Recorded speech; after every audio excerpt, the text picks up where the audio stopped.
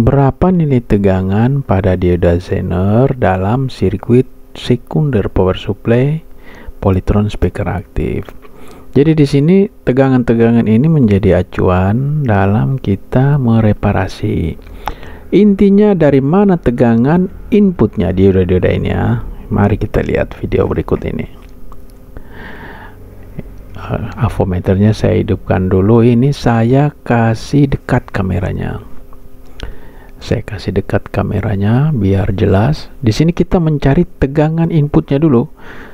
Zener ini tegangan inputnya berapa? Terpelen ya avometernya kita cari posisi dulu teman-teman. Ya ini kita lihat. Ini input tegangannya 27 ya. Ini dari elko yang plus yang plus 28 dia lewat resistor nanti sampai di desainer ini diturun menjadi 18 seperti ini ya. Dia menjadi 18 dan menuju zener yang 22 volt ini yang tadi zener 29 ini zener 22 dia turun reaktansi untuk basis C. Untuk basis itu ya C945 ya. Yang ini inputnya 28 dari dia menuju itu ya dari dioda kaca ya. Dan ini 9 volt ini di, dari sender ini.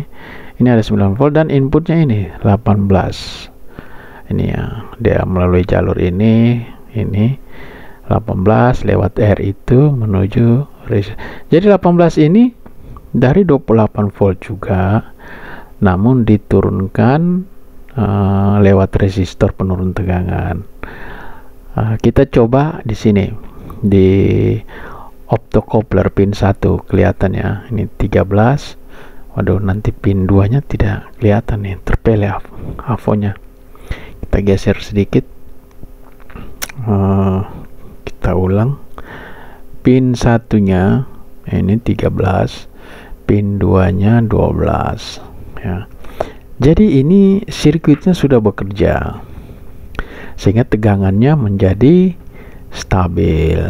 Tegangan pada elko ini menjadi stabil. Kita lihat ini. 27,9 ini 28 ya karena ini bebannya belum full.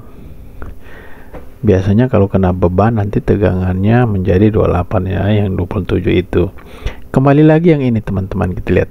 Ini kolektornya. Nilai kolektornya di sini kita ukur dan emiternya ini ya. Dan ini kolektornya. Nilainya seperti ini dan ini emiternya. Jadi ini basisnya ya. Jadi teman-teman dia seperti ini. Sirkuit ini kalau sudah bekerja dan semuanya akan menjadi normal ini tegangan ini juga menjadi normal. Jadi kalau kita sudah tahu tegangan-tegangan ini dalam reparasinya menjadi mudah. Dan semoga ini menjadi pedoman ya teman-teman. Kembali kita lihat ini C945 kaki tengahnya. Anggap saja kaki tengahnya ya.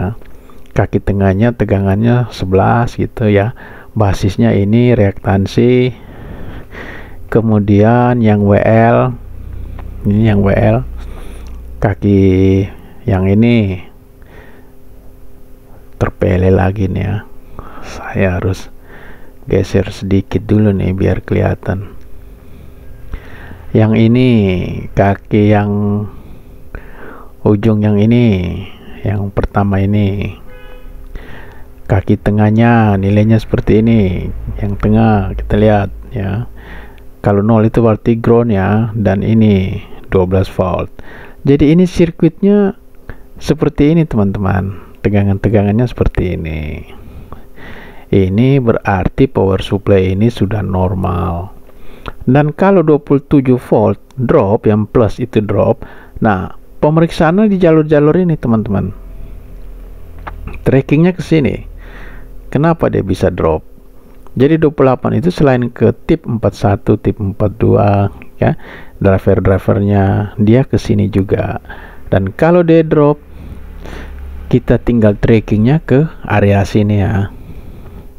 Tinggal tracking ke area ini. Jadi tegangan inputnya 18 nanti sampai sender menjadi 9 seperti ini teman-teman. Terima kasih sudah menonton video kami. Thank you